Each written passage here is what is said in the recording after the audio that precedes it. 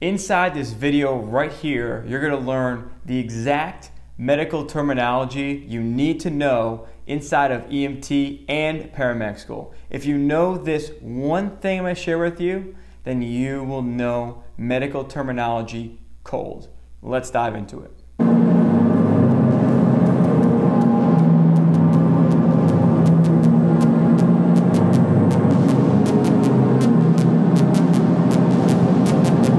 Hey everyone, this is the Paramedic Coach back here with another video. Inside this video, we're going to talk about exactly the steps and the tips I can give you for medical terminology. Now, what does this mean? Okay, first off, if you're new to the channel, be sure to hit like and subscribe down below. This channel is everything EMT and paramedic related. So first we're going to start with simple, simple front and back. So we know the front and the back. So we're talking about the human body. So the first way of saying front is going to be anterior, anterior, like an ant, anterior. Now, how are you going to remember anterior is front and posterior is back? Let me explain. So A comes before P. So when you go up to somebody and you walk up to somebody, right? You show the front of your body first, not the back of your body. So I walk and approach you, nice to meet you, then I'm going to show you the front of my body. So that is going to be how you remember the anterior. Is A is first, the front of my body is first. Anterior is front. The back, posterior. So the back is P for posterior. So A in the alphabet comes first, then P is later on. The other way you can remember it is, hey, front and back is kind of like A and P. So anterior and posterior. So there's many ways to remember that. Anterior, front, posterior, back. So now we're going to move on to the next, the next way of saying front and back. Now, depending on where you're talking about in the body, something could be called anterior, posterior, or could be called, depending on the organ, or depending on the location of the body, it could be called ventral or dorsal, depending on where you're looking. So let me explain this to you. How do you remember that ventral is front and dorsal is back?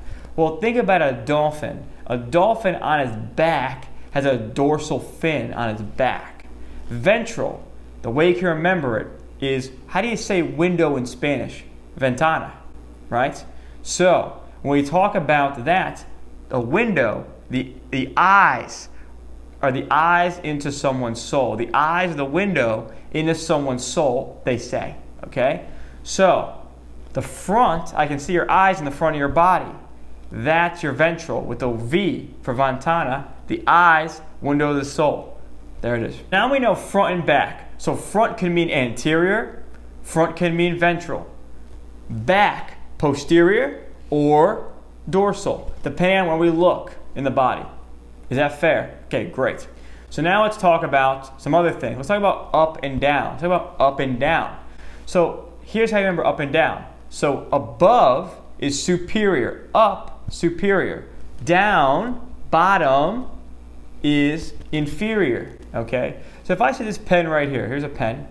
If I say this pen right here is the most superior pen in the world, it should be placed up in the heavens. It should be placed high in the sky on a, it should be placed in a pedestal. It's such a great pen, right? It's a superior pen. It's a great pen. Put it up. Put it up on the shelf. Inferior pen, I'm going to put it in the garbage. This pen's inferior, I'm going to throw it in the garbage. I'm going to throw it on the ground. It's garbage. I'm going to put it in the garbage. And the bottom of the garbage is next to the ground. Okay? Makes sense? Superior above, inferior down. Okay? So now, if you just know that going into EMT school, you're already ahead of the game. Now, what else? There's a word called lateral. So lateral means on the side of something. So lateral just means on the side. So I'm talking about my the lat the lateral thigh. It's in the side of my thigh. Okay. So lateral means the side. What else? Another one I'm going to give you. There's proximal and distal. Oh, whoa. Proximal and distal. Okay, that sounds crazy. Now let me explain this one to you. So first I'm to explain what it is. Okay, let's do that. So here up here and here is what they call the humeral head. Okay? My humeral head is up here, okay? My hand is over here, down here. So I would say, in, in plain English, I'd say my humeral head is up here and my hand is down here. In medicine, I would say the humeral head is proximal to the hand. Or the opposite, I would say, bear with me here, the hand is distal to the humeral head. So what does that mean? Whatever is above something is proximal to it. Whatever is, whatever is distal, whatever is distal to that is going to be below that. Okay? Whatever distal to something is below that. So I'll say it again. My humeral head, which is right here, okay? My humeral head right here is proximal to my hand. My hand is distal to my humeral head. Okay? So I would say my knee is proximal to my foot. My foot is distal to my knee. Fair? That's up. Now, if we know that, you're to be in pretty good shape. You're to be in pretty good shape. Those are the, that's the main that's the main language. That's the main language. Okay? So for example, right, now that we know all this, if I was reading an EKG and I'm looking at all the views in the heart for a 12 lead EKG, there's a lateral view of the heart, there's an inferior view of the heart, there's a septal view of the heart, there's an anterior view of the heart, there's a posterior view of the heart, right? So, see, now we know. Okay, so if, if you're telling me that the EKG is looking at the posterior of the heart, that that view of the EKG is looking at the back of the heart. Oh, wow. Wait, so you're telling me that if it's a lateral, it's looking at the sides. You're telling me anterior is the front, inferior is the bottom. Oh, wow. See? And by the way, if you're a new EMT, if you're a new paramedic, uh, we have a program that we help people out with two main things. Passing school on easy mode, okay, the easy way, and passing your NREMT boards on easy mode, right?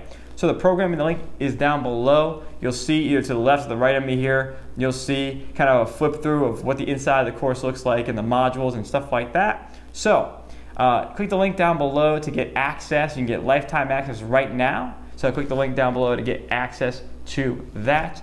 And everyone, thanks for watching, liking, subscribing, and I will see you next time.